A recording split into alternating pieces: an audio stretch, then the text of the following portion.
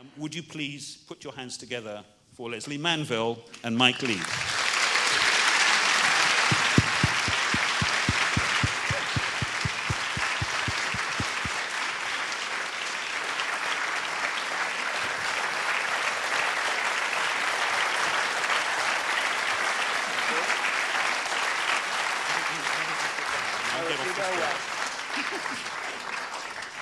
We are not sitting down because we're going to start with a couple of clips. So watch, listen, and learn. Thank you.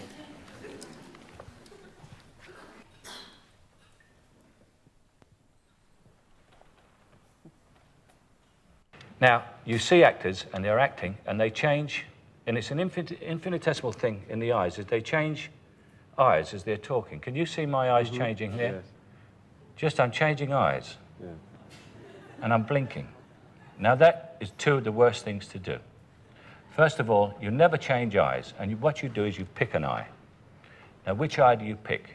I look at with this eye, because the camera is there. I look at this eye, at your eye there, mm -hmm. which brings my face, you can see.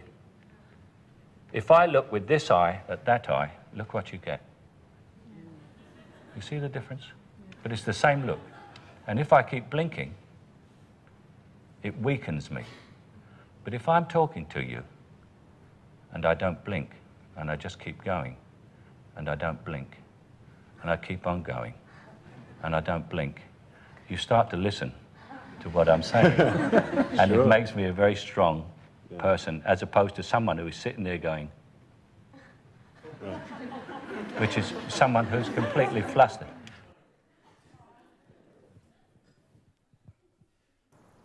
See, I got married in my 20s, and granted, he was the wrong man, but I was too young. I couldn't handle it. But when I was in my 30s, I met the right man, and I was mature. I was ready for it. I mean, he left me, but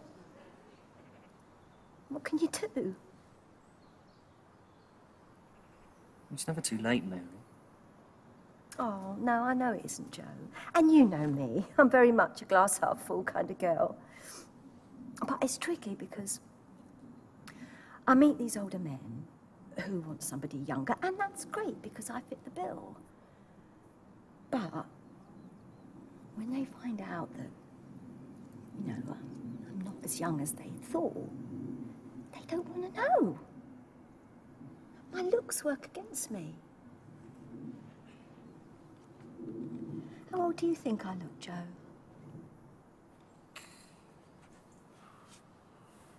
Sixty, seventeen. No, stop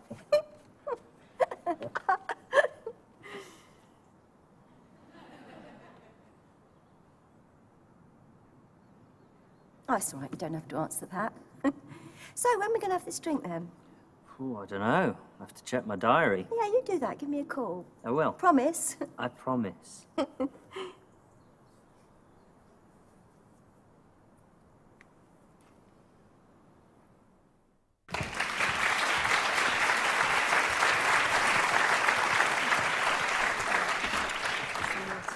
So obviously, my first question to you, Lesley, is, we, was that left eye or right eye acting? And how did you cope with the blinking aspect? well, I mean, I mean, obviously, um, I wasn't really thinking about the blinking or which eye or what eye because um, we're we're coming from a different place, aren't we? We're we're we're we're starting with a different um, premise that's um, not to do with. I mean, I can see what Michael Caine's saying because there is there is technique involved in filmmaking, obviously, and, and I, I sort of started to have a relationship with the camera, as it were, when we did Topsy Turvy, which was 2000? 1998. yeah. And, uh, and, and something sort of clicked in for me. I think before that I was always so sort of in, in character and, and thinking that that's all I had to think about. And Round about that time, just something else that's a bit hard to define started to happen, and I started to realise that I did have uh, some sort of relationship with the camera as well. But I mean, you know, I mean that's just that's just Michael Caine's. That gets him through the night, doesn't it? That's what he does. That's what he. That's what he uses as his technique for, for film acting. But he is absolutely starting from a different place. But- and I've had I've had directors who have told me not to blink. Is that right? Yeah, absolutely. Uh, a few years ago, I was doing a film, and it wasn't just me. He was telling, he was saying to all the actors, um, try and say that whole sentence without blinking, and and you know it can really mess you up because you you start thinking about not blinking, and you know it's um. I mean, you, you acted in front of cameras, um, not so much film cameras, but television cameras, from a very early age. Mm. And so presumably you, you will have had the kind of um, external acting, technical, doing it very quickly um, sort of experience. Um, and you must have been on some kind of, you must have had to cope with the exigencies of working in front of a camera without any, you know, from an early age and without a great Without any of, rehearsal, really. Yeah, yeah, I mean, that's, that. that's, the, that's the thing. I mean, I'm, I'm doing a film at the moment and we've got um, some rehearsal and I've spoken to other actors and they've said, oh my God, that's, un, that's unheard of that you've got some rehearsal. And, and actually, really, when you think about it, it just seems ludicrous that you, you, you would go and do stuff without any rehearsal. But, I mean, it is, it is the nature of television mostly these days. But let's just look at that because we take it for granted. I mean, uh, so, some of us here know exactly what that means, and perhaps some people may not. I mean, what describe, as it were, in case there is anybody such a person here, for the lay audience participator, describe what, how you cope with acting in front of in the filming situation without rehearsal? I mean, what do you have to deal with and how do you, how do you get by? And this relates to what you properly mm. call Michael Caine's um, coping mechanisms. I mean, mm. talk about your experience of that. Because, you know, obviously we've worked together and at one extreme end of the spectrum, you know, we do films where by the time you get to the moment of what we shoot, you've, there's a whole history and we've been very complex and we've rehearsed it very thoroughly and so forth. But on the whole, you must have had a great deal of varied experiences of having to deal with the technicalities of, of acting in front of the camera mm, uh, without, perhaps without help or without um, a- basis or without foundations. Yes, I mean, I would say, I would say pretty conclusively that apart from the films I've made with you and uh, plays that I do uh, in the theatre, those are the only experiences of, of any extended rehearsals. And that- that's not to say that a lot of television and film directors don't want the time to rehearse. It's mostly economic, I think.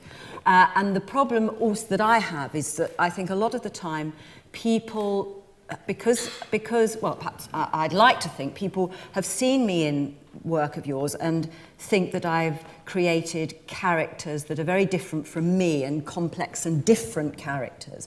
So that I think people think that I can sort of do it by myself and that, that, that there's a feeling of, oh, well, you know, we'll get Lesley Manville because she'll, she'll be able to do it. But I, ha- I get no pleasure out of having to work out a performance on my own at home and turn up with it and because that is what you have to do. We'll come to this a little bit later because we've got a couple of clips shortly which are about preparation and, and all of that.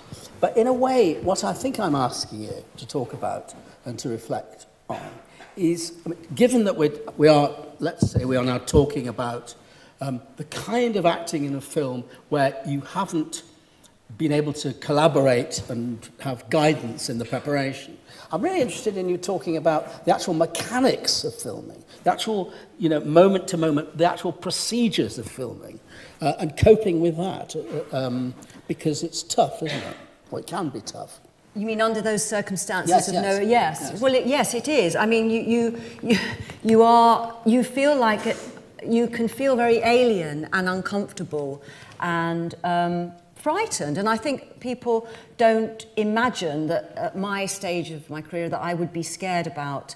Uh, that and it's not a, it's not a, a kind of scare uh, it's not a sort of mm, physical manifestation I think but it's just you know, I, I, you, you, you, you get to, you, you turn up and you get in the, you get in costume and sometimes people are doing your makeup, which I really don't like, and they're doing my hair, because I feel I want this character to be, it's about me and about what I want to do with this character. And you get all these other people who are putting their, imposing their feelings about how they want this character to be. And you, you, you feel like it's, you're losing sight of it, but then you kind of think, well, I don't know what sight I have of it anyway, because I don't really know how to play it, because... Uh, uh, and then you're on the set and there's, um, I mean, I've just made a, a film in, in, in Italy and uh, there was, there was uh, no chance to, to rehearse the scenes with the other actors this on, on the Romeo set. and Juliet, isn't it? Yeah. And um, we, we were, the, the blocking and everything, uh, everything about the, the physical mechanics of the scene had been worked out to accommodate shots. And, um, you know, you, you, you sort of feel a bit like a robot. And, um, but somehow you've got to save your own neck because so you know you've got to come up with something and you know you've got to be good because at the end of the day the, the audience watching it are not going to say well lesley manville wasn't very good but she probably wasn't very well directed and she probably didn't have very much time they're just going to think lesley manville wasn't very good and so you i think my my capacity to come up with something has got really good over the years You're talking about you, uh, um, and it's interesting and important that you are, talk, you are forced to talk about you, the individual actor, in isolation. But of course, what you're also, well, what we are implicitly also talking about is the um, lack of opportunity for the ensemble of actors, for the actors working with each other, to actually, um, in some way, live together uh, in, in that supposed reality that's being created in front of the camera. Um, talk about the, how people cope with things with each other and for each other, and indeed in spite of and against each other and all that stuff. Yes, well, it's, I mean, you'd, you'd think it would make sense if you're, you know, creating a family on film or a relationship that there would be, there needs to be some common ground, and that there, there needs to be certain stuff that is um, in some way investigated. And of course, I don't go into jobs thinking.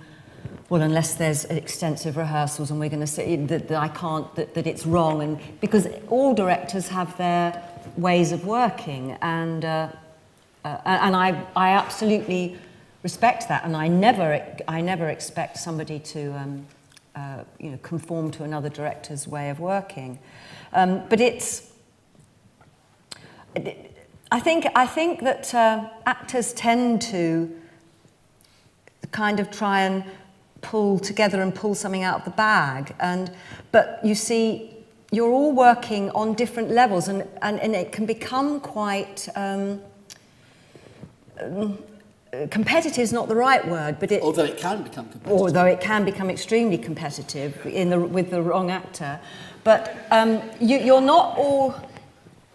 Everyone's coming with their own agenda, and with Everyone's imagining, each actor is imagining a different reality. That's yes, that's right. That's right. So there's no, and I mean, I, so I think one of the important things about rehearsing, even if it's a very short amount of time, is to get people together so that you, you get a feeling at least of a of a common ground, or that you know you know you know what you're working towards, um, because it's. I think it, I think I've had experiences um, on, on film and in television where, that you're left feeling extremely um, depressed, really, uh, uh, depressed about the way that you're being um, forced to work. You talked about, at, at the beginning, a, few minutes ago, about suddenly developing, what if I understood you correctly, um, a, a sense of uh, how to have a relationship with the camera uh, when you were doing Topsy Turvy, presumably the, the back end of Topsy Turvy, the latest. yes, yeah. Um,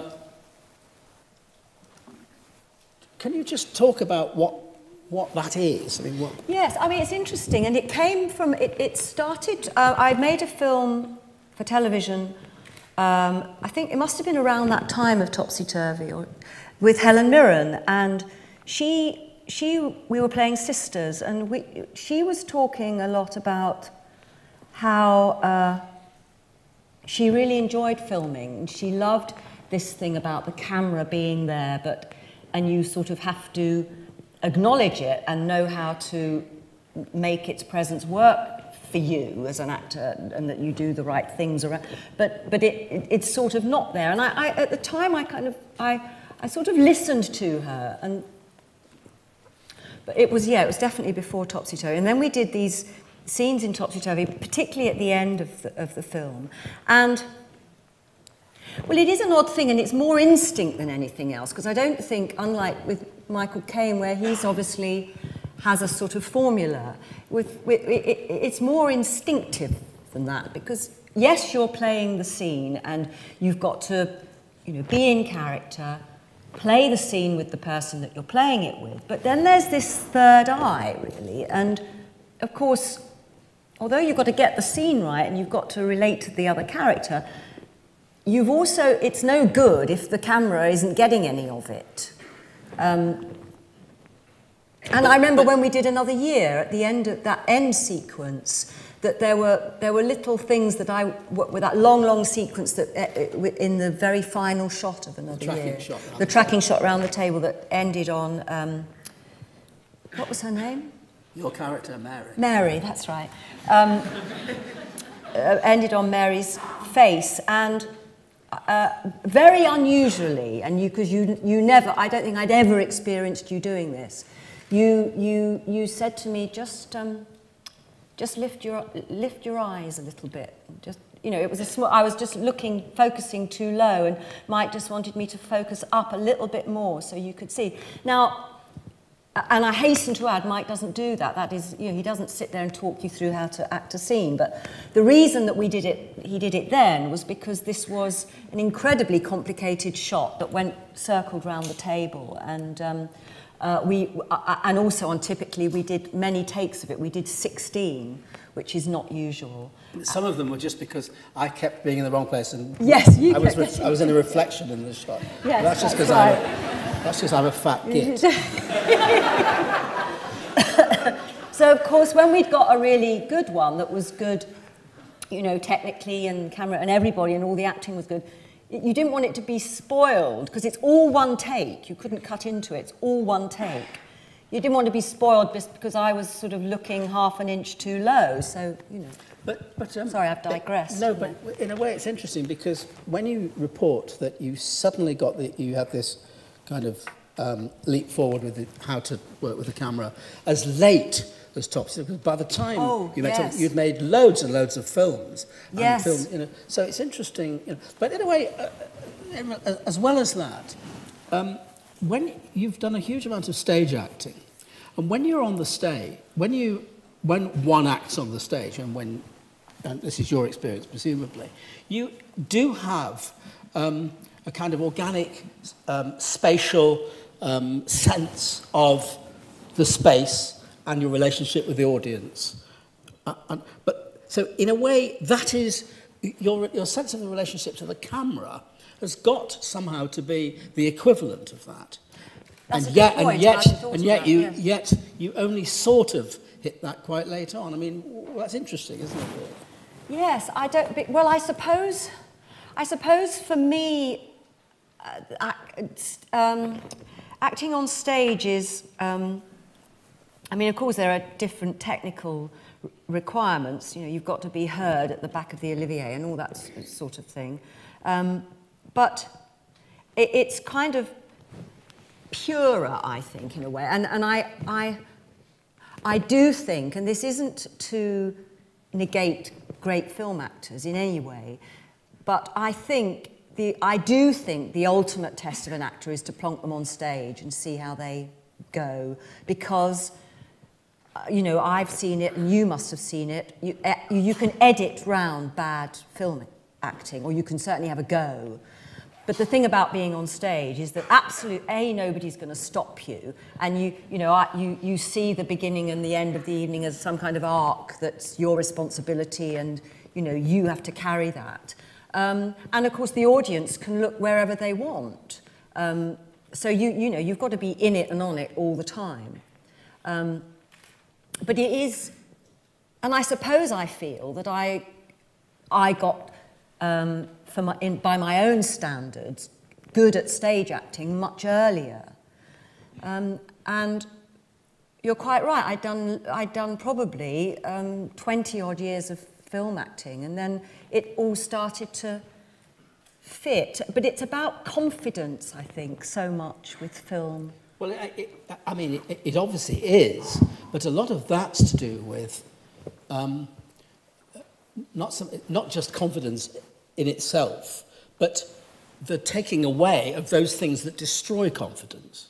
Yes. I mean, a, a- lot of what we began by talking about, and in a, in a couple of minutes we'll look at a couple of clips that, are, that relate to what we're now talking about. Um, it, it, it is, we've been talking about, implicitly talking about preparation.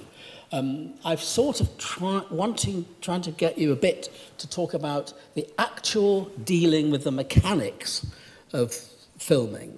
Um, the, the, the, the, nature of the way that action is broken down, the responsibility in some way to repeat performances in, diff- in different takes and in different shots, um, and also coping with the actual amount of technical stuff that's going on when you're actually trying Yes, I see. Well, I mean, I suppose I, yeah, there is. There's a load of technical stuff, and there can be loads of reasons to do other takes. Although I have to say, with quite often when I'm not working with you, you, you feel like you're doing lots of takes because you're trying to get it right. And I don't ever feel that that's the case with us. I think we're doing extra takes because it could be a bonus and there will be subtle differences and, you know, there will be shifts and changes, but they're, they're subtle. Um, but often uh, with, films, you're just kind of thinking, oh, let's go again because I haven't got it right yet. And, and that isn't the case with working with you, really. Michael Caine, in a, more of that, which you can find on YouTube if you haven't seen it, by the way, um, uh, talks about, I mean, in fact, what he's actually talking about there is, you know, um, angles and uh, um, eye lines and all the rest of it. Um, uh, Julie Walters, a long time ago, when she made Educating Rita, actually reported to me that um, Michael Caine um, encouraged her to place, because of a particular eye line in a particular shot, to play the scenes not to his eyes, but to his shoulder, which um, is eccentric, by the way.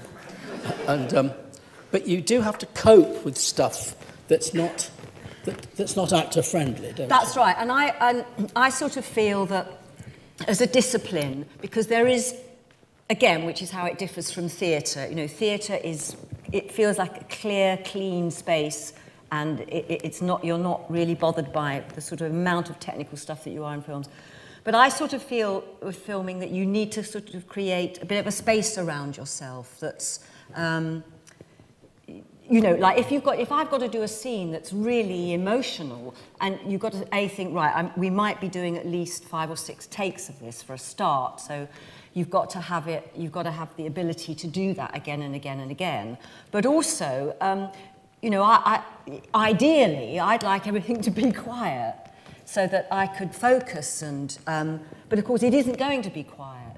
So you sort of have to do whatever it takes to to help you to do. And I remember when we did um, another year, and uh, quite an interesting thing happened in the early part of the film where uh, Mary is quite drunk, and I'd never really played anybody drunk before, and. Um, and you know, normally when we're making films, I think a lot of people think that we walk around and it's all very internal and it's all very heavy and we don't have a laugh or anything, but we, you know, we absolutely do. And we, we, we do go and do, we do takes and then we have a cup of tea and we talk and we, and whatever, or, and whatever an actor needs to do that helps them.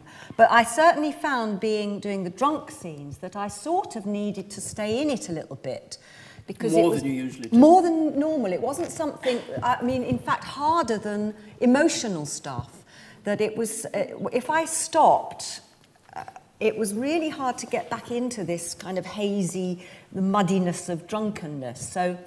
Uh, I don't think anybody clocked me doing it, but in between the takes of that, I just went to a room where th- there was nobody and I just sort of kept it on the go very privately. On the whole, yes. I don't mean with a vodka and tonic. She was stone cold sober, actually. Um, uh, I'm not particularly disposed to, to talk about what we do. Uh, I mean, that looks after itself. But I suppose it is worth sharing in the context of what we're talking about and what we're about to look at.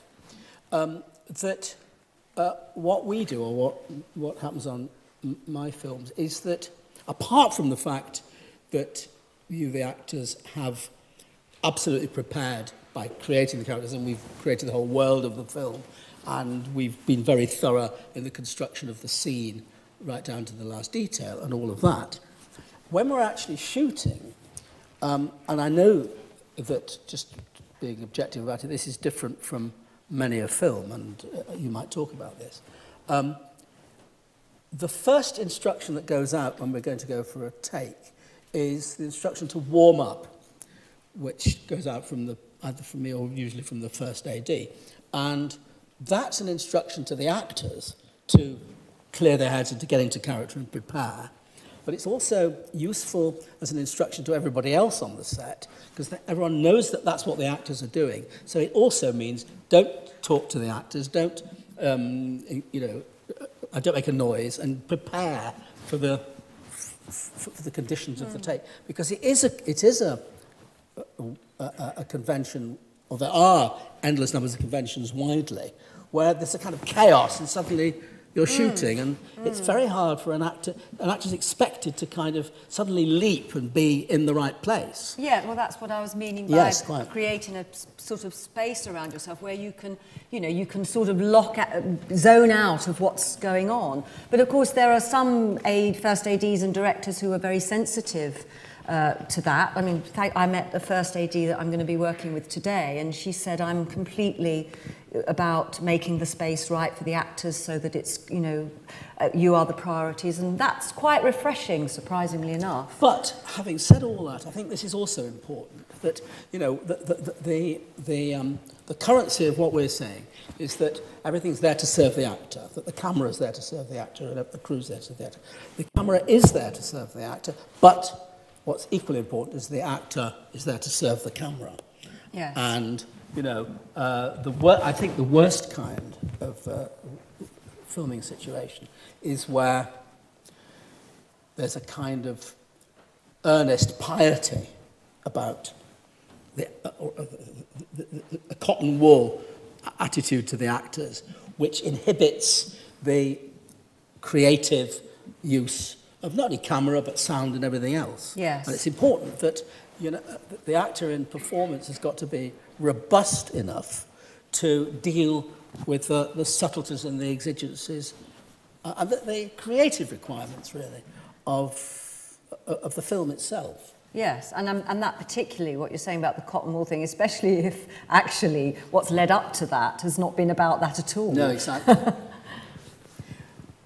we've got two clips here. One is from Truffaut's Day for Night. I'm going to call it La Nuit Americaine because the only copy I could get hold of hasn't got subtitles. You don't need subtitles for this sequence, um, but it is it relates in many ways to what uh, we're talking about, uh, as you'll see. And the second is um, footage of Charles Lawton in 1937 having a terrible time and ultimately uh, not really getting it together, playing Claudius in uh, von Sternberg's film I, Claudius, which was never completed. It was shot at Denham Studios. It was never actually completed because Merle Oberon, who was in the film, um, was in a car accident and the insurers pulled the film. Um, have a look at these two clips because they do relate to what we've been talking about and I think they will take us to further discussion.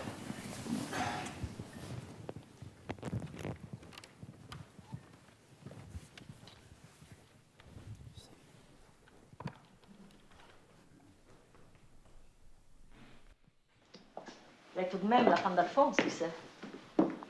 On dirait que tu la détestes et que tu fais exprès de lui jamais adresser la parole. Qu'est-ce que vous faites là? Vous voyez que je parle à monsieur. Et alors, allez vite. Et ça, je ne le supporte pas. Oh Je l'ai faite. C'était bien, hein, Ferrand Enfin, non, enfin, c'était très bien. Bien, enfin. hein. C'était bien, c'était bien, mais c'est pas cette porte-là, vous voyez Ah, je pensais que c'était la même. Non, ça c'est la vaisselle, Oh, et ici, vous avez la vraie porte, voilà. Je pensais que c'était la même, alors on va la faire. Alors, voilà, on se remet au départ, on refait aussitôt. Je m'excuse, mais je C'est pensais pas que grave. c'était la même porte. C'est pas grave, Alors attention Elles se ressemblent. Ça va Hein. Hauteur Pamela, 36 deuxième. Séverine Franchement, je ne te comprends pas, Alexandre. Tu es bizarre depuis quelque temps. Hier soir, quand tu as quitté le repas en plein milieu, c'était très grossier vis-à-vis de Pamela. Elle est tout de même la femme d'Alphonse, tu sais. On dirait que tu la détestes et que tu fais exprès de jamais lui adresser la parole.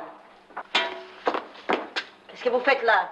Vous voyez que je parle à monsieur, alors Allez, très vite. Et ça, je ne le supporte pas. Coupé Écoute, chérie, regarde bien. Je sais, je sais, les, les deux portes sont placées pareilles, mais L'on prends la poignée. C'est pas ça, mais c'est cela. I understand you. I'm not an idiot after all. No. It's only that I don't know what's happened with me. Oh, Bernard, no. Tu es la seule personne qui me comprend. Tu peux venir dans ma loge. Oh, tu viens chez moi, là, ma loge. Sûr, sûr, sûr, sûr, sûr. Alors, ce n'est pas ça. Ce n'est pas ça, mais c'est ça. Voilà, allons-y. On continue. Hauteur Silence Ah, silence Pamela, 36, troisième. Franchement, je ne te comprends pas, Alexandre. Tu es... Tu es bizarre depuis quelque temps. Hier soir, quand tu as quitté le repas en plein milieu, c'était très grossier vis-à-vis de Pamela, tu sais. Elle est tout de même la femme d'Alphonse. On dirait que, que tu la détestes et que tu fais exprès de jamais lui adresser la parole. Oh, qu'est-ce que vous faites là? Vous voyez que je parle à monsieur, alors allez très vite. Et ça, je ne le supporte pas. C'est foutu, elle n'y arrivera pas. C'est pas ma faute. Coupé Ça, c'est pas ma On va le refaire. C'est pas ma faute. Écoute, pas grave. non, Ferrand, c'est pas ma faute. Moi, je suis très confuse. Je sais pas s'il est Odile, s'il est l'actrice, s'il est la maquilleuse. Ça m'a confuse beaucoup, tu sais. Dans mon temps, les actrices étaient les actrices. Les, les maquilleuses étaient les maquilleuses. C'est pas ma faute. Je sais quand elle Voilà. Jean-François. Excuse, mais vraiment, c'est pas ma faute. Bon, s'il vous plaît, tous les gens qui n'ont rien à faire sur le plateau, s'il vous plaît, je vais vous demander de sortir.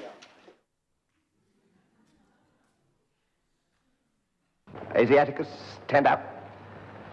Not only are you a stuffed and puffed up, Not only are you a profiteer, but not only are you a profiteer, but since we're dealing in personalities, you're a stuffed and puffed up glutton. You'd sell your soul for the tail end of an anchovy. Since no one else seems eager to show his eloquence, I will inform you the conditions upon which I will accept your, your support. I'm sorry I've gone.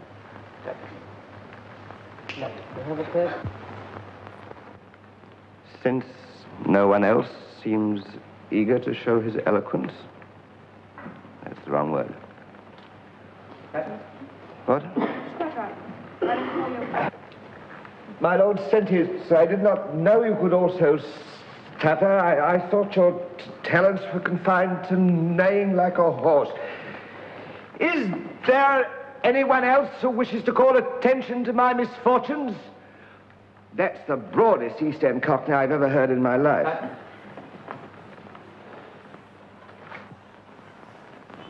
In fact, day after day, he used to arrive at the studio and say, I can't find the man, Joe. I can't get the man. And he had the idea that perhaps if he started on a different sequence, he could work himself into the film. And so, as at that time we were the only film company filming at Denham, we built stage after stage on each of the many, uh, set after set on each of the many stages in the studios. And each day we'd start on a different sequence and hope that Charles would perhaps find the man. And then one day he arrived breathless and rather late on the set, very excited, and came up and said, Joe, I got the man. I found him. Don't you realize it's Edward VIII? And he got hold of a gramophone record of Edward VIII's abdication speech to the nation. And thereafter, he would never film until he'd first of all retired to his dressing room, which was a caravan on the set, and played through Edward's last speech as king to the nation. And after he'd heard it through, Charles would come and try and play his part of Claudius in the film. Poor bugger. I mean, just you just feel for him. Really, you do. You just feel for him. It, it's painful because, you know, he's just he's just uh, he's just lost, isn't he? He's just really, really, really lost. And then he ends up listening to tapes to get some, you know, Gramophone. yeah, a gramophone record. But if he'd have done, you know, if he'd, if only he'd have had, if only he'd have had the chance to do it, to rehearse and get it and do it in collaboration. He, or to find something to have to pre- to prepare in some way.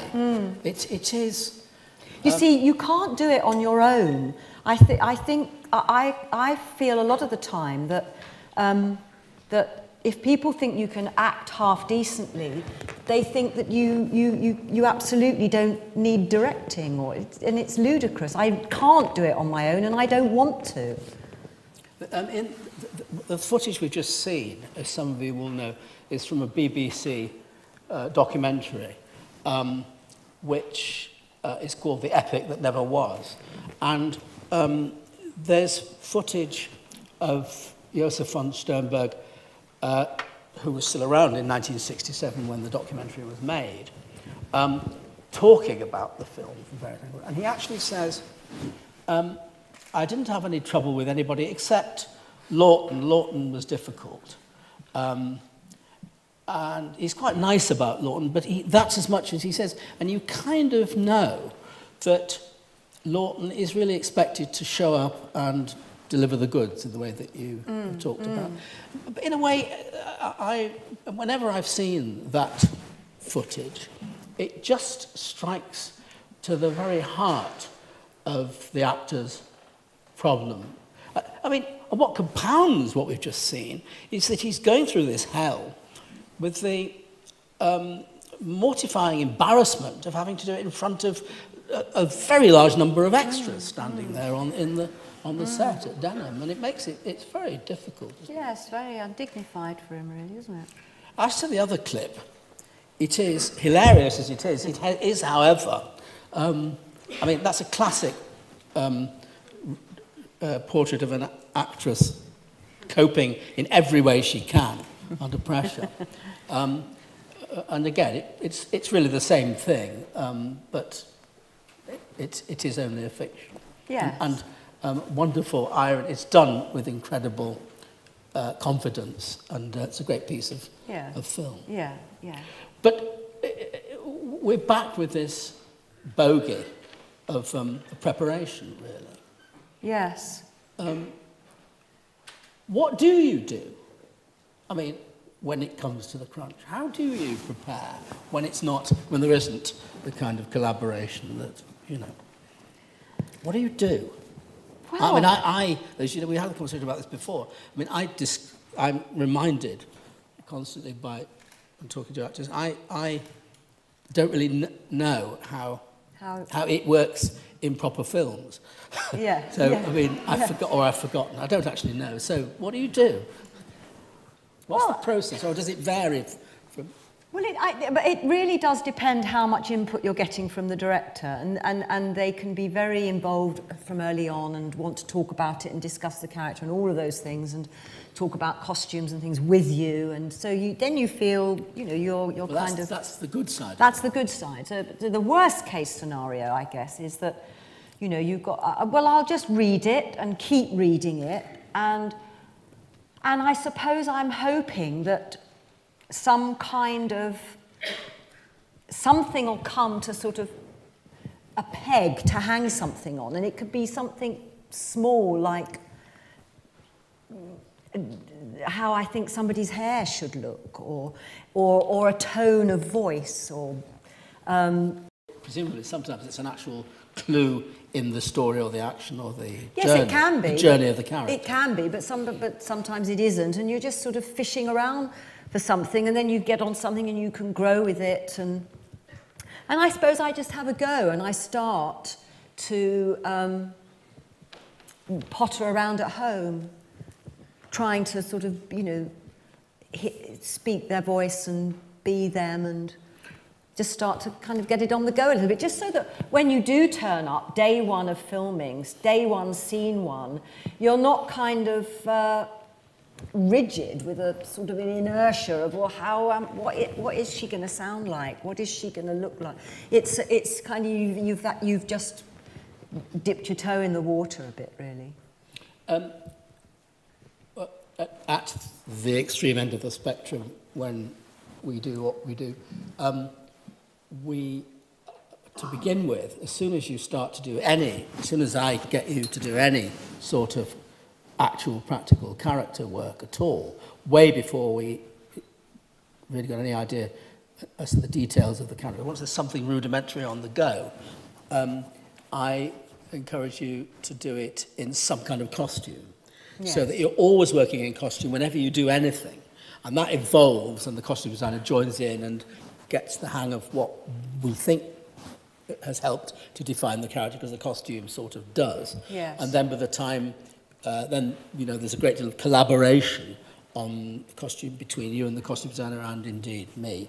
And so by the time you get to shoot, you're wearing uh, costume that you are very familiar with, and yeah. it's grown into the character, and the character's part of it, and it's been very carefully chosen. Now, presumably, in many circumstances, and you've just been talking about, you know, you, you show up to film and you hope that the voice, etc., etc. Um, the, the costume, which is a very essential and integral part of acting, character mm. acting, um, it comes as a kind of unsympathetic external Well, it does, and it's worrying. I mean, and, and I'm worried at the moment about that very aspect of. I'm going to Berlin in a few weeks to shoot a, a cameo in a film.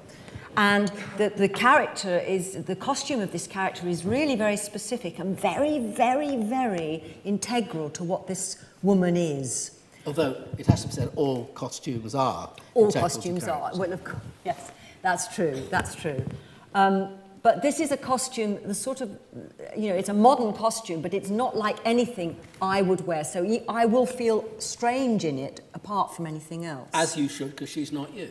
Indeed, but especially so because this costume is quite alien to me. If you know. the, costume's in the, in the story. On. Yes.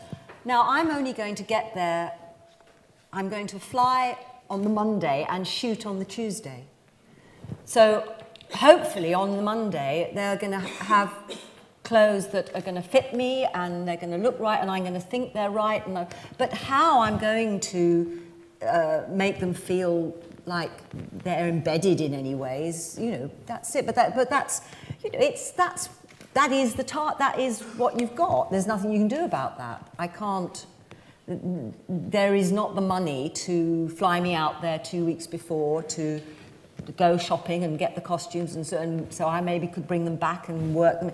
There's, there isn't the time or money to do that. Has, have, have you ever experienced a performance being compromised by the costume that you, or even spoilt or ruined by the costume you've had to wear? I can't think of anything offhand. No, no, I can't. But I mean, it's not. It's not such. A, it, it's not that. Um, it isn't ideal, but the the fact is that is just how it is, and and it's it's another kind of it's another stumbling block to to to actors getting in front of a camera and being comfortable and feeling secure with some level of confidence about what, what you're going to do. I suppose, well, it is the case, isn't it? That the same is true of your relationship to the environment you're in. I mean, if you're hmm. playing a character that lives somewhere and you've never seen it before and it's not exactly how you would have imagined it and you're not used to the particular chair, which you should have been should Yeah. be used to because you've had it for 50 years. I mean, Yes. it's that those things too, isn't it? Yes, I mean, so, so, but, but given that that is the status quo, what, you know, what you have to do as an actor is assimilate all these things very quickly. How do you do that? You assimilate them quickly. But do you do anything? Do you, do you, is there anything you actually do Um, by way of assimilating? well, I mean, you know, you get on the set, you look around, you feel, you think, oh, this is that, and you might say, well, I don't think that's right, and then you get rid of something. But, you know, you just have to do it fast. And there's no point moaning about it. There's no point saying, you know, time and time again, well, this isn't ideal, because it's the way it is. What's, talk about the things you love about acting on film and the things that turn you on about it. Well, I suppose I, re- I, I it's. I love that quiet moment when, it, you know, you, you turn over and, and then for a moment, for, for however long the tape lasts, it is down to you and you're not going to have that noise going on. It's, I suppose it's just, it's the pure it's the pure acting. I like acting. But, I mean, you like acting on the stage as well. Hmm. So what I guess I want to push you a little bit to talk about is what is it about the film acting experience itself as opposed to just acting? Because acting is acting in the end. Yes. I mean, uh, uh, look. uh, What uh, do you think? well, what me- do you think we get well, out of it? Well, well, well, I was going to say before I answer that question, which is a good one. no, I mean, for me, doing um, mostly films and sometimes plays, and we've just done a play at the National Theatre together, in case you weren't aware of that. um, um, uh, in the end, the joy of film, apart from the joy of film itself and the whole language of film, what you can do with it, apart from anything else, it's the thing of being a breathing real air. It's, it's, it's, it's the welding together, or the bringing together of, it's the harmony, if you like, of the fiction that we've created and the real world, interfacing with the real world. Yes. You know. Um, uh, so that's part of the sort of buzz of it. Yes. For me, Because we always, because we shoot. Well, you shoot. We always on real, real sets, real locations, More or pretty less, much. Yes, yeah. although interestingly, your um, clairvoyant Sartori on Topsy Turvy was on a, although it was in a real place, not a actually a studio, it was in studio mode. We built sets. Yes, yes. But however, um, it's that. I mean, does that, do you get a buzz out of the being in real places aspect of filmmaking? Yes, I do. I do. And I, but, and, and I suppose the other thing is that it, it is, you, you- you're forced to uh, see it in a different way because you're shooting in, it's all little bits, and then all those bits are going to be put together. So you're thinking differently. You're not thinking of a two hour evening. You're thinking of making this one minute right, but, but it has to fit in with the previous minute and the next minute and all of that.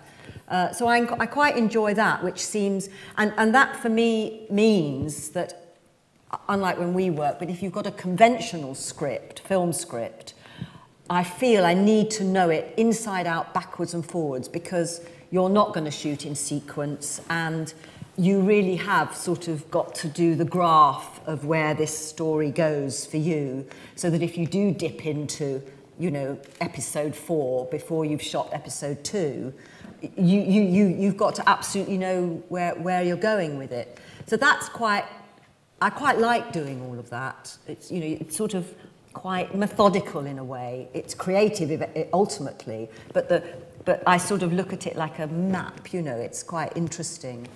Um, and, and I suppose I also like, it, it's, it's, uh, it's sort of what, well, it isn't really what Michael Caine's saying, but it, it's, I love it when the camera is, I always love it when, you, when we do the close-ups because it's, it's about a, a flick of an eye or a, a look to somebody or, and I love all of that. And I, and I, I, I like it when we change the lens and it's something closer and you, you kind of modulate it to facilitate that. I mean, what is wonderful about filming, is it not, is that, and I mean filming in the classical way with one camera uh, and doing all the setups with one camera, is that each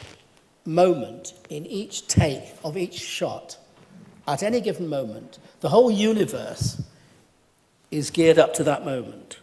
And it may be a moment that we, the audience won't see because its equivalent moment from another take or another shot may be the, Mm, mm. uh, and that's another reality which will be created as films are in the cutting room. But um, the joy of film making for me is the fact that every moment is the center of the universe and everything is geared up and focused on that moment. And that's a, from, from the pure acting point of view, I should have thought that's the buzz, isn't it, really? Yes, it is, and, and it, yes, it is about it is about that, and that's what I meant when I say it go, you know, it goes quiet and it's all focused, and and and that is what it's all about.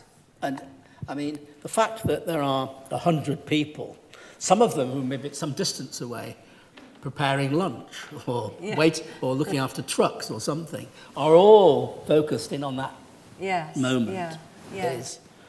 Talk about um, your experience or, as an actor with your relationship with the, with the cinematographer. And incidentally, the cinematographer we work with very often, Dick Pope, is in the audience. Yeah. Um, I mean, I suppose the thing about what I love about listening to you and Dick when you're working out the scene, how to shoot it, because we, you know, Mike, Mike isn't saying right, this is the scene, and you're going to come in there and you know, we, we work on the scene, we, we create the scene, and then I love listening to you and Dick talking about.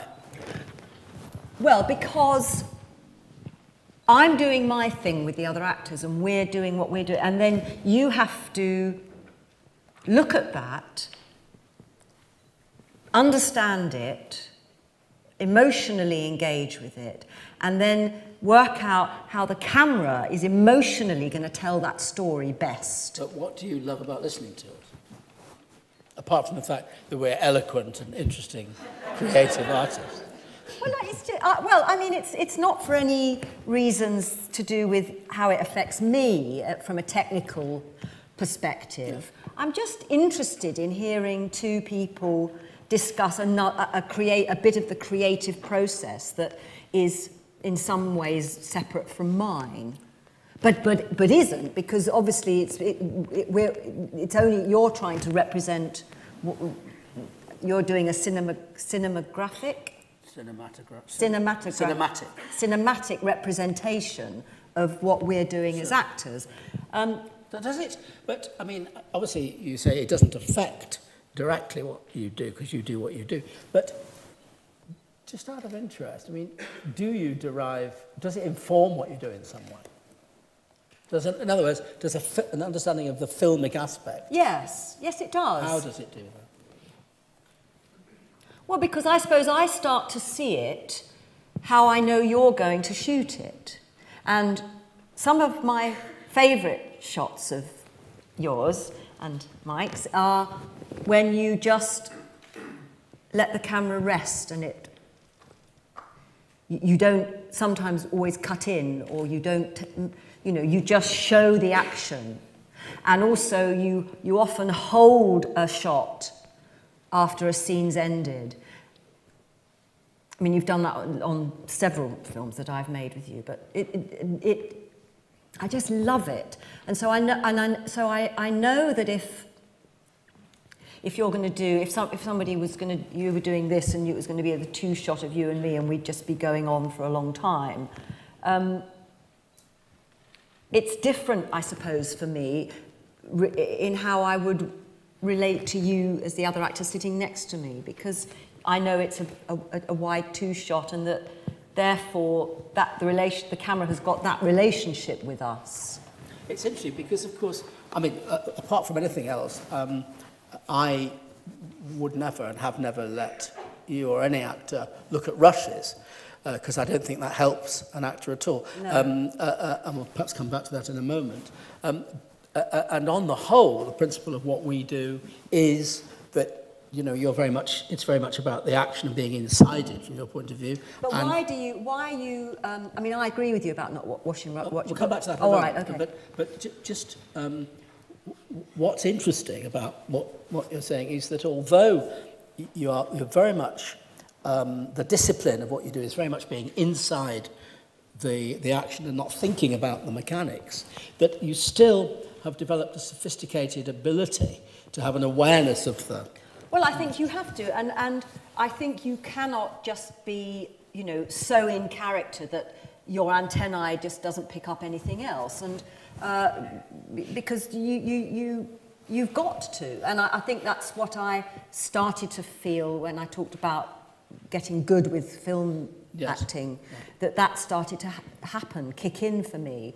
Um, but it's, but it's also a discipline that, that is used in the creative process of our work because we, we, we are create, you work with us individually to create characters and we, we create those characters, but after we've come out of character, we do need to dissect it and talk about it. Yes. So, you know, I need to have my antennae on the go so that I'm, um, there's always a bit of me observing what I'm doing, if you like. Absolutely. How about watching rushes? I, I, you've never watched. Do you watch rushes? Um, have you watched rushes on other projects? No, not as a rule, but sometimes uh, uh, I've watched them very, very rarely and occasionally when you have to watch something back because you've perhaps got to pick up a shot and so you need to watch it for continuity reasons. But in terms of it being part of the ongoing creative process, uh, would you agree that, generally speaking, it's counterproductive? I think it's really not good. And, and, and I think that, that one of the worst cases of it was this when I've just been shooting Romeo and Juliet in Italy.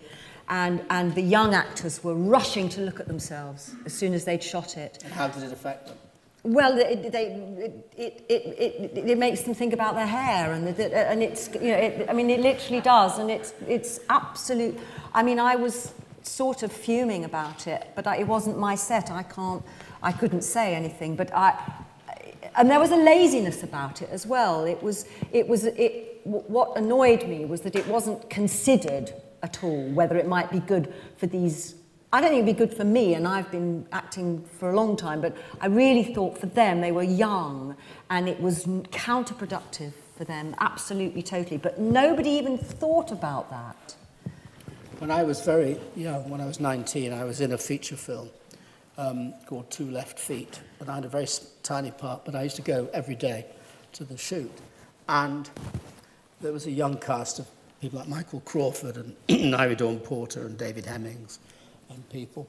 And every day at Shepperton Studios, we, everybody piled into the, uh, this little preview theatre at lunchtime and watched the rushes. And I, innocent as I was about things, and I know that I watched the entire cast. I mean, uh, not me, because I wasn't really, I was just not doing anything. But um, the entire cast, all the performances disintegrated as a result of the self-consciousness mm. uh, that watching the rushes, and again, it was, it was just a convention. It wasn't really considered. So, mm. you know, that's what. Yes. Well, we're going to look at um, a few clips, finally. Uh, and the first of these is um, a, a, a, a scene uh, from The Firm, a film you made with Alan Clark, um, sadly deceased. Um, and what's um, actually what the characteristic of all the clips that we're about to see is that they are all contained within one shot, more or less. Yeah. Um, but I think it might be useful, since um, this is quite, an ex- quite a sort of radical piece of shooting, uh, uh, uh, uh, this first clip from the firm, if rather than talk about it after the audience has seen it, if you just talk about how um, you, with Alan Clarke and Gary Oldman, set about uh, preparing and shooting the scene so that we may understand that when we look at it. Well, we shot the whole film, The Firm, which we made in 1988. We shot the whole film on Steadicam, which is a camera um, that is strapped to the camera, camera person, and it, it, it, it, it, it affords um, uh, freedom, because uh, uh, you, 'cause you, do, you, you do the, the, the camera can be fluid, the, the, the, it can move wherever it wants to and follow the actors. There's a great fluidity about it, and Alan, Alan liked that, Alan liked it a lot, and he, because of the nature of this film, it was, a, and it, this film was highly controversial at the time. I know it doesn't seem like it, it's only 24 years ago, but it was incredibly controversial, and uh, it dealt with um, football hooliganism, uh, and there were so many conversations with Alan phoning me up afterwards about the delay that it was going to have in transmission because the BBC were very tough on the censorship. And um, interestingly, the, the, there, was, uh, there was a scene from this that we shot that was finally cut. And uh, it's a scene where you think the husband is raping his wife, and then it turns out that actually they start laughing, and the wife quite likes it. And this is kind of semi violent game that they play sexually. And the problem that the BBC had with it was not that he was raping his wife, but that the woman was complicit in it. Um, and the BBC were absolutely clear that to show a woman being complicit with any kind of sexual violence was, um, was not palatable. But the scene that we're going to watch was interesting from another aspect as well, uh, apart from the way we shot it, um, because uh, Alan rang me up and said, uh, because we'd shot it on this Steadicam, so it's all one, all one take, um, he, he, he wanted to end the scene on my character at the door saying, fuck off. But he couldn't do that because the BBC had said, no, Lesley's character has said fuck eight times already, and she can't say it nine. And he fought and fought and fought. And he said, Well, I want to end the scene how I want to end the scene. And so he had to compromise it. So now the scene has to end on uh, Bexy um, because you couldn't, because of shooting on Steadicam, you couldn't cut round it. Um, it ends outside. On... It ends outside on a shot of Gary because uh, you, you couldn't. Talk about the actual shooting of it and the, mm. prepare, the re- did you rehearse this? Yes, we had extensive rehearsals. I, I, I, when I look at it, um, am I right in thinking that you've, it's very, very thoroughly rehearsed? Yes. And although there's, there's overlap of the dialogue and things, it's very, very prepared, isn't it? Very prepared. Um, very, very, we had, we had uh, a long time rehearsing up at the old Acton rehearsal rooms that the BBC used to have and uh, and they were and the rehearsals were with uh, John. Oh God, I've forgotten his surname.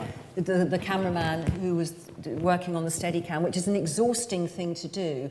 Shoot these long takes on with one guy with this heavy camera strapped to his body. Um, but it, it was all about rehearsing with him and, and then rehearsing on location.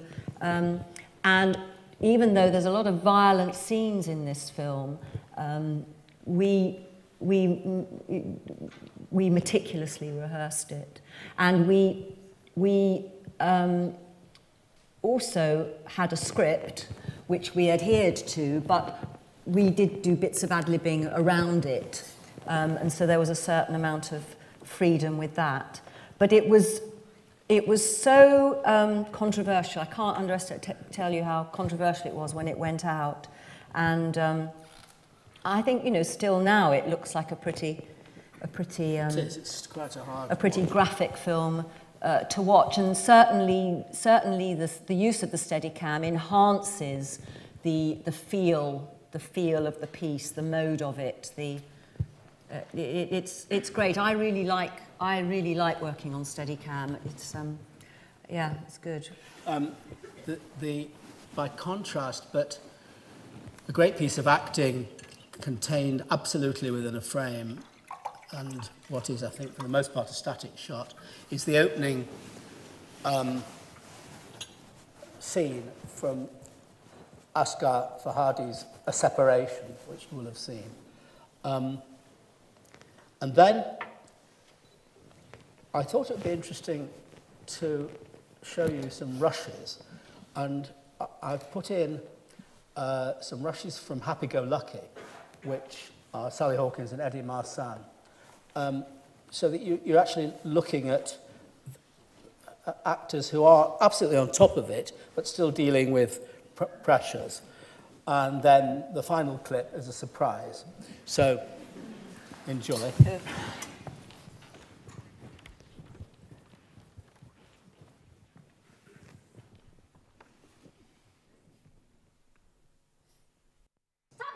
When that kid is in this house, he's safe, right? Talking about his safe. Oh, oh, yeah, yeah, yeah. Most supposedly standing knives lying around the house, don't they? He talking about? That's his you, ass. you big boys games, Bex. Yeah, yeah. Don't turn your back No, on me. turning me back. I'm getting a drink and I ain't exactly fucking running away. I'm going to eat your nagging boys wherever I fucking Yeah, go. too right. Look! It is late, you're tired, etc., etc., etc. I said I am sorry. You know, I am sorry. I'm more sorry than you know. I'm to put up with all this emotional crap. I don't see why. He's all right, I told you. It won't happen again. Swallowed it. He could have poked Yeah, it out. Fucking matter. I do not want you to carry a blade in this house, right? This is a normal house with normal people. I don't live with a 30-year-old boot boy.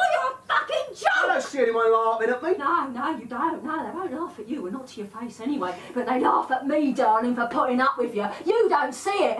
What I want to know is what's so bad about being normal, eh? What's wrong with being bloody normal? I told you, I need the buzz. Well, buy a bloody beer, I That's then. almost funny, that is. Oh, look, don't follow me about. It's like showing a punt around the house. stop, keep walking away from me then. Right. I want you to stop, and I mean it this time. I told you I will. When? When you stop. Stop what? Where's my corpse on the floor? Fucking animal. Do you know that? Me? Yeah, perfect. Oh, I told you I have just got to have him! Right, if you want to carry on like you can go back to your mother's. Go on, piss off. I want to live with a grown-up Bex, not a 30-year-old hooligan. Give me on, mate. I just have. You go chasing that Larry Git, you don't stay here. Suits me. Oh, oh yeah, yeah, that's right, yeah, go on, back to your mummies, go on, kid. Do you want to see me across the road? That's it, girl. Go on. Kick the door down. Give me something to do at the weekend. Bex! What's the matter, love? Feeling lonely already?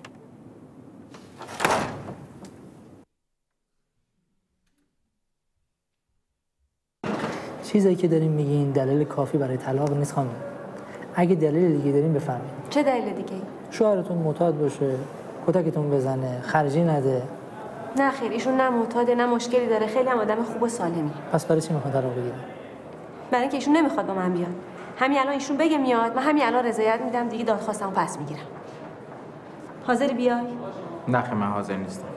چرا حاضر نیست؟ آج آقا بگید چرا حاضر چرا نیست؟ چه خودت می‌دونی. نه نمی‌دونم. لطف کن یه دور دیگه توضیح بده چرا حاضر ایشون نیست. یه دلیل برای من بیاره. چرا باید تو این موقع پاشیم بریم خارج؟ تو یه دلیل بیار چرا باید بمونی؟ من هزار تا دلیل برات میارم. یکیشو بگو. یکیش پدرم. من پدرمو نمی‌تونم ول کنم. بازم بگم. ولی زن تو می‌تونی ول کنی. من کی تو رو ول کردم؟ تو منو کشوندی؟ دادگاه. تو برای من دادخواست طلاق فرستادی من کشوندی کردی؟ اینجا به زندگی من انداختی. برو این اسمش ول کردن نیست. آج آقا همین الان نگفت اگه می‌خواد بره بره. بله الان هم میگم. وقتی نمی‌خوای با من زندگی کنی من به زور. که نیاوردمت به یواش زور تر می‌خوام آروم دارم. برو. یه روز اومدی با من می‌خواستی زندگی کنی امروز نمی‌خوای زندگی کنی؟ وقتی ترجیح میدی بلند شی بری اون ور- ترجیح میدی یعنی چه؟ این کاری که ما دوتا با هم شروع کردیم. حاج آقا بعد از یک سال و نیم دوندگی و خرج و مخارج بالاخره ویزای اقامت ما اومده. شش ماهی که الان این ویزا اومده. چهل روز دیگه هم باطل میشه. برای چی باید این موقعیت رو از دست بدیم؟ می‌خوای موقعیت از دست ندیم. خیلی خوب. پیشنهاد بده. تو شرایط رو الان می‌بینی وضعیت رو می‌بینی. منم کشوندی اینجا. پیشنهاد بده. قاضی پدرشون چیکار کنی؟ ایشون بهونه کرده من بهونه نکردم. حاج آقا شما گفتی یه دلیل بیار. من اجازه بده صحبت. بفرمایید. پدر ایشون آلزایمر داره. اصلا متوجه نیست که ایشون پسرش اطرافش کی هست. به حالش چه فرقی چرا این حرفو؟ می‌زنی؟ چه فرق چه می‌کنه. اون می‌فهمه که تو پسرشی من که می‌فهمم اون پدرمه. دخترت برات اهمیت نداره. آینده دخترت برای تو مهم نیست. اصلا مگه من بحثمو بحث این دخترمه؟ چرا فکر می‌کنی فقط برای. تو مهم آینده این دخترمه همه بچه تو این مملکت داره زندگی می‌کنه. یعنی هیچ کدوم آینده ندارن خانم. من ترجیح میدم بچه‌م تو این شرایط بزرگ نشه حاج آقا به عنوان مادر این حقو چه داره شرایطی؟ چه شرایطی خانم؟ بچه‌تون اینجا پدر مادر بالا سرش باشه براش بهتره یا اون ور پدر بالا سرش نباشه؟ منم برای همین از ایشون دارم خواهش می‌کنم با ما بیاد. من تو وضعیتی نیستم که بلنشم بیام. چند بار باید اینو تکرار کنم؟ خب ایشون بخوای بازم بگم؟ ایشون که این وضعیت رو نداره. من الان تکلیفم چی میشه آقا هیچی. بفرمایید سر زندگیتون. اگه می‌تونستیم که دادخواست طلاق نمی‌دادم خانم ایشون هم باید برای طلاق راضی باشه. توافق دو طرف باید باشه. خب ایشون که میگه راضیه. مگه الان نمیگه راضیه؟ من شما. بدین. اگه ایشون رفتن اونور به شوهر بچه ترجیح میده من مخالفتی ندارم. برم. بسیار خوب. ایشون که رضایت میده. تکلیف دخترم چی میشه؟ همه چیز باید توافق بشه خانم. دخترتون چند سالشه؟ دو هفته دیگه میشه 11 سالش تموم میشه. پدرش اگه اجازه نده نمی‌تونه با شما بیاد خانم. پدرش اجازه نمیده. دیگه اون خودتون می‌دونید. به سلامت. بفرمایید آقا اینجا رو امضا کنید. بفرمایید. حاج آقا من اومدم اینجا شما مشکلمو حل بکنید. بفرمایید اینجا امضا کنید خانم شما. بفرمایید. کجا رو بده امضا کنم آجا. اینجا لطفا امضا کنید. من همه چیزمو میبخشم. فقط دخترم بده به من.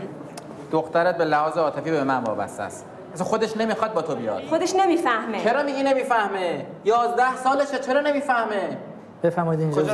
بفرمایید اینجا امضا کنید وقت دادگاه رو هیچ نگیرید کی چی نمی‌فهمه فقط تو می‌فهمی. نه تویی که همه چیزو می‌فهمی. بفرمایید وقت دادگاه رو نگیرید لطفا. بفرمایید امضا کنید من چی میشه؟ من فقط چهل روز مهلت دارم. خانم اینجوری نیست که هر کی مشکل کوچیکی پیدا کنه مشکل بگه من طلاق می‌خوام یعنی بگیرم. مشکل کوچیک یعنی چی؟ حاج آقا مشکل من مشکل. کوچیک نیست من مسئله. دخترمو دارم. بفرمایید. خانم خانم ایشون هم دخترشه ایشون هم حق داره.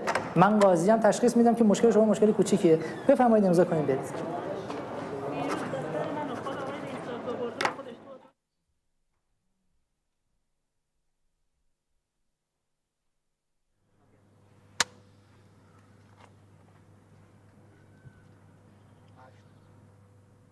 Right, check your mirrors, check your seat, make yourself comfortable. No, I don't think so. Put your seatbelt on. We're not going anywhere, Scott. What do you mean? You're in no fit state to take this lesson, all right? I'm sorry. Poppy, I'm the driving instructor, you are the pupil. You need to calm down. I am calm. You can't drive like this. How dare you comment on my driving? I think I can comment on your driving. You're putting yourself in danger. You're putting me in danger. You're putting other people in danger. It's not me, it's them. That's bullshit, Scott, all right? It's all bullshit, yeah? That's it. It's over. What, you want this lesson to stop? Yes, I do. I don't want you to teach me, all right? Okay, great, fantastic. You get in the passenger seat and I'll drive you home. No, I'm sorry. You're not driving. I'm driving. No, you're not. Yes, I am. Poppy, if this isn't a lesson, then you can't drive. Sorry.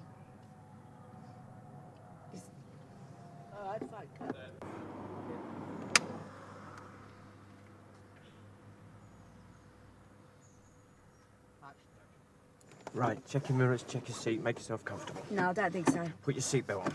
We're not going anywhere, Scott. What do you mean? You're in no fit state to take this lesson. Poppy, I'm the driving instructor, you are the pupil. You need to calm down. I am calm. You can't drive like this. How dare you comment on my driving? I think I can comment on your driving. You're putting yourself in danger. You're putting me in danger. You're putting other people in danger. It's not me, it's them. That's bullshit, Scott. It's all bullshit. Yeah, that's it. I don't want it. Well, you want this lesson to stop? Yes, I do. I don't want you to teach me anymore, all right? I'm sorry. Okay, great, fantastic. You get in the passenger seat and I'll drive you home. No, I don't think so. You're not driving. I'm driving. No, you're not. Yes, I am. Poppy, if this isn't a lesson, then you can't drive. You're not driving anyway, sunshine. Oh, fuck, sorry. Cut.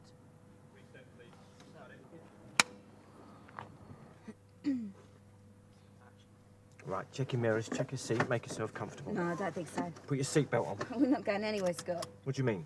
You're in no fit state to take this lesson. Poppy, I'm the driving instructor, you are the pupil. You need to calm down. I am calm. You can't drive like this. How dare you comment on my driving? I think I can comment on your driving. You're putting yourself in danger. You're putting me in danger, and you're putting other people in danger. It's not me, it's them. That's bullshit, Scott. It's all bullshit. Yeah, that's it. I don't want it. What, you want this lesson to stop? Yes, I do. I don't want you to teach me anymore. All right? I'm sorry. Right, great, fantastic. You get in the passenger seat and I'll drive you home.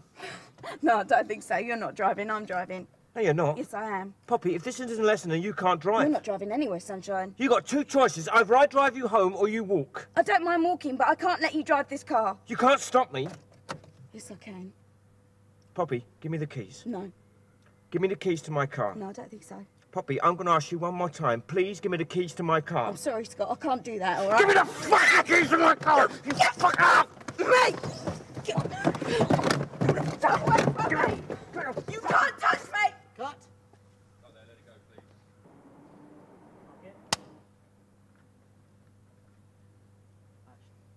Right, check your mirrors, check your seat, make yourself comfortable. No, I don't think so. Put your seatbelt on. We're not going anywhere, Scott. What do you mean? You're in no fit state to take this lesson. Poppy, I'm the driving instructor, you are the pupil. You need to calm down. I am calm. You can't drive like this. How dare you comment on my driving? I think I can comment on your driving. You're putting yourself in danger, you're putting me in danger, and you're putting other people in danger. It's not me, it's them. That's bullshit, Scott. It's all bullshit, yeah? That's it. I don't want it. What, you want this lesson to stop? Yes, I do. I don't want you to teach me anymore, all right? I'm sorry. Okay, great, fantastic. You get in the passenger seat and I'll drive you home. No, I don't think so. You're not driving, I'm driving. No, you're not. Yes, I am. Poppy, if this isn't a lesson, then you can't drive. You're not driving anywhere, sunshine. You got two choices. Either I drive you home or you walk. I don't mind walking, but I can't let you drive this car. You can't stop me. Yes, I can. Poppy, Give me the keys. No, Give me the keys to my car. no, I don't think so. Poppy, I'm going to ask you one more time. Please give me the keys to my car. I'm sorry, Scott, but I can't do Give me that. the fucking keys to my car! Get the fuck me! Get off me! Fucking get away from me! Fucking... Get away from me!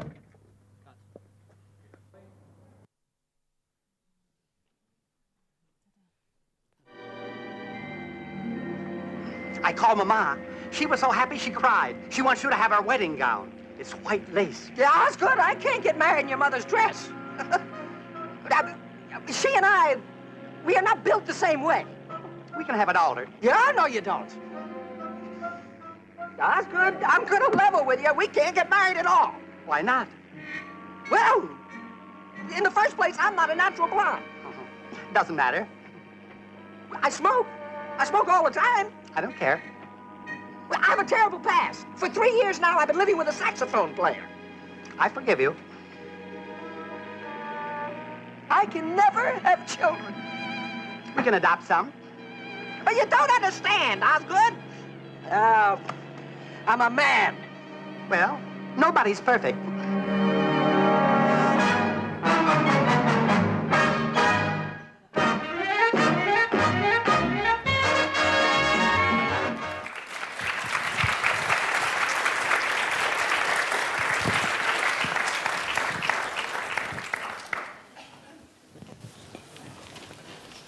I mean, um, I, I suppose I should just say that um, obviously, having gone out of my way to show actors having a bad time and being unconfident, uh, it was, I felt it was good to look at people who know what they're doing and are supported by everything that's going on. And they're all very, uh, I mean, it's, and it's the, the, from a cinematic point of view, it's very clear and integrated and the acting is liberated. really. Uh, thank you for a fascinating discussion so far. Um, we've got about 15, 20 minutes to take questions from the audience, please. Just curious how aware the camera, uh, the actors are of each shot that you create. So, are they aware that it's a two-shot to medium close-up, and also, um, I'm wondering if you think that um, actors may benefit from a verite sort of style of shooting where there you don't put marks down and they're very unaware of the camera, and the camera and lighting have to adapt to them.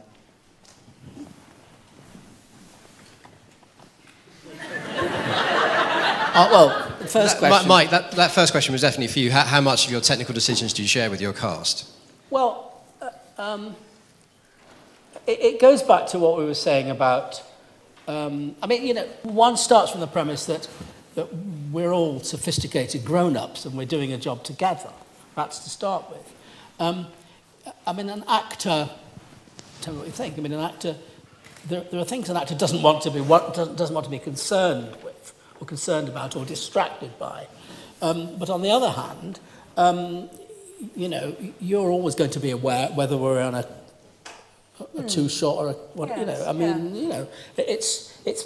I mean, we're all there doing this. It, I mean, apart from anything else, in the grander scheme of things, filmmaking is a highly sophisticated communal activity, professional, industrial process, and communal activity. So you know, you know, people are aware and know what's going on, but. Um, the kind of acting where the actor is entirely preoccupied with what's happening technically to the exclusion of what the actor should be doing is obviously not healthy. What was the second part of your question? Um, just curious um, what you think are the benefits and maybe some of the detriments of working with a more verite sort of approach where. Of not um, putting marks down and all the rest? Yeah, not putting marks down, um, shooting uh, maybe long takes with the camera um, at a very long distance from the actors where they're completely unaware of it. You know, the fact is that there are all kinds of films and all kinds of styles and all kinds of ways of using the tools of filmmaking creatively and all kinds of films. Um, uh, you know, there's no, we all know that having to put marks down on the floor so that the actor's in the right place uh, for focus, um, in some ways, it can be a damn nuisance, especially if it becomes fetishized or distracting.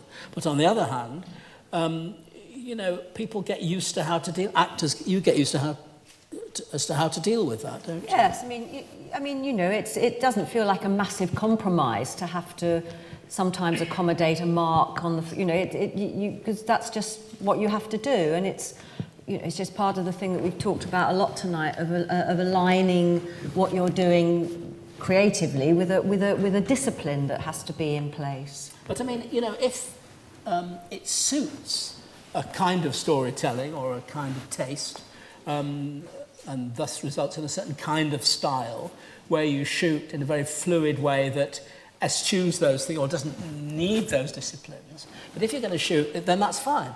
But it's horses for courses. If you want to shoot in a, a as, as it so happens, I and my comrades do, uh, in a what is basically a classical discipline style. Um, and you, you actually, on the whole, wanted to be in focus and all the rest of it, uh, then you have to use the technology to achieve it. But it has to be what we've been talking about for the most part, and really what Lesley just said, provided it's integrated into the creative and doesn't inhibit or destroy it, then it's part and parcel. I mean, we know that they say that um, the reason why you always see Spencer Tracy looking down plays his characters is he's getting on his mark. Um, so there is, that is one way of dealing with it. Uh, Let's move on to there's a question down the front here, please. Um, Lesley, you mentioned that the small, intricate details is something that you really enjoy about film, acting for film, like the, thick, the flick of an eye or just the small things that you have to do. Do you use those techniques on stage as well because you enjoy to do so? Um, well, it's different on stage because the audience are seeing you, as it were, in a sense, in a long shot compared to film, unless it's a we're in a small theatre, which is we did a the last play we did in a But they're still seeing you in a long shot. But they are still Yeah, seeing you in a long seeing shot. The whole of you, not just your face. That's right. Yeah. So it's it's it's sort of it's sort of different, but um, but having said that, you know, you you you can do very small things on stage that can be that can be seen. It, it, it's just uh, knowing the parameters, you know, of what of, of, of, of the space that you're working in, really, and what will work and what won't work. I mean, just two thoughts about that. Um, one is that, um, in fact, when you were talking about those small things, you were actually talking, I think, we could say you were talking about what you celebrate about film acting itself, Yes. per se. I mean, that's the joy of film acting. But quite another thought is that, you know, people say, oh, well, you know, you can't have a close-up on stage. And I don't think that's true. I think if a play, I mean, I mean this, I'm not talking actually, of course, actually you can't have a close-up on stage. You're always in a long shot, obviously.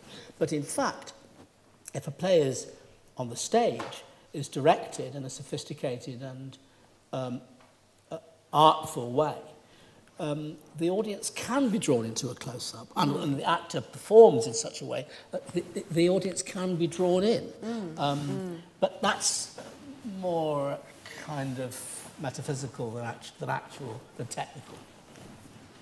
Thanks. There was a, another question over this side. Just two very quick questions. Um, Lesley, I just wondered if, in terms of being an actor, did you have any formal training? Did you go to um, RADA or places like that? And my second one was um, if you were off in a desert island and you could only take one film, what would each of your films be?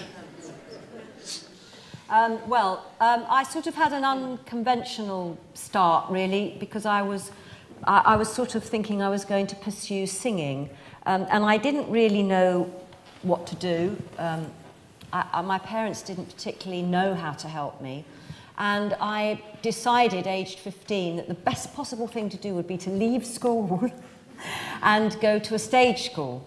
Um, so I went to the Italia Conti Stage School for about nine months and then um, started working.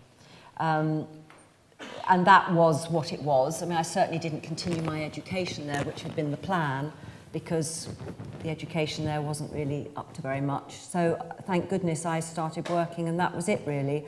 But I did sort of um, uh, and Mike's heard this lots of times before, but I did sort of uh, flounder around and um, I, I, I sort of played all these parts that were exactly like me, and that's all I ever played when I was very young, because I, I, I, I didn't really think about it. I didn't consider the kind of actress I wanted to be, or I certainly didn't have an intellectual view on it. You were in lots of television series. I did lots of television, yes, when I was young. And then around about my, around my early 20s, I met Mike and we worked together for the first time. And um, it was just great. I just, I was so sort of liberated by it. And um, the way he works made sense to me. And I really, really enjoyed it. Um, and I started to see through Mike that I could play people that weren't like me. And I have to say, that's been the most uh, fa fantastic gift because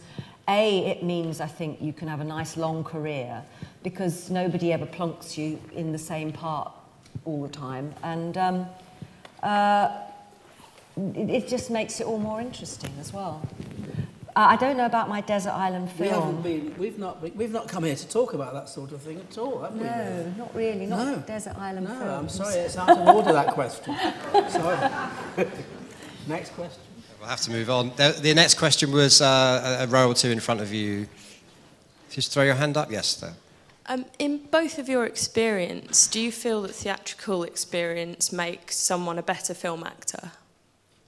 I, I don't know. I think what I feel about myself is, as I've, you know, it's, it's not, nothing groundbreaking, I'm going to say, but as I've got older, I've just got better. But I wouldn't say that that's because of um, one feeding the other, because I do, I do think technically they're very, obviously they're very different, and different skills are required. Um, but in a way, I don't see it like that. I just, I think, I think my acting's got stronger. Um, but that's about something else, I think. I think that's just about absorbing life and, um, and, and experiencing life and then having uh, an ability to, in a way, I suppose, uh, display some of those aspects of one's life or emotions. I don't know. I don't know. I don't know that I do feel that really. I think that um, I, I, I would agree because uh uh, uh, uh, on one level, because um, there are in world, in world cinema, there are all kinds of great performances from actors, including act uh, on film, amateur actors or child actors and people who haven't don't come from the theatre. Um, and that those performances uh, are absolutely um, pure and brilliant, and those people have no experience of theatre of any kind because it's about film acting. On the other hand, it would also be true to say, I, I think from, certainly from my um, experience, to a considerable extent, that although, and we've talked about the differences between the media and all the rest of it, that um, so that isn't really the point, but it is the case that actors who've got experience of sustained performance and of rehearsal and of rehe the whole thing of preparing something and spending time at it, which is something that is something that um, is more prevalent in the theatre context. That does help um, with the acting. So there are things to be gained and learnt from acting on a stage and you know and learning how to to sustain a performance and so forth. But it would be wrong to say that one is absolutely necessarily contingent on the other. So let's take one final question. I'm going to go to the back if I can. There's one right over there. So, Lesley, you talked briefly about how um, it may be a luxury for a director to have the time to prepare in the way that you might want them to. So, I just wanted to ask. Or like, as, like they would want to as well. exactly, like they would yeah. want to. So, I just wanted to ask maybe to Mike if, um, if you were given the opportunity to direct a film that was perhaps a bit more ambitious in terms of locations and budget and I don't know, maybe like a Bond film or something. Would you do you reg- do you regard this process as being the top priority, and therefore would you would you kind of cherish that and, and turn down a film that was not turned down, but do you know what I mean? Is is this the top priority? This this preparation? It's not a question of priority, it's a question of um, how uh, the, the only way I know to get things to happen. But as it so happens, I, I haven't, this hasn't been announced yet, but I am directing the next Bond film. and no, this is, it's funny you should ask that question because we are, we are going to be in rehearsal for three years before we.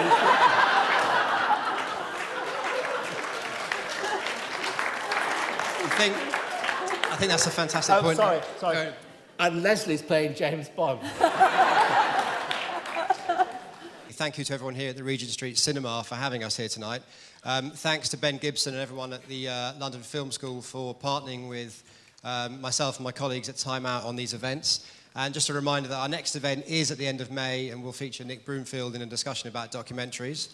Um, thanks also to Don Boyd and Hibrow who have been filming the event here tonight. And most of all, of course, thank you very, very much to Lesley Manville and Mike Leigh for sharing your ideas and experiences. Thank you.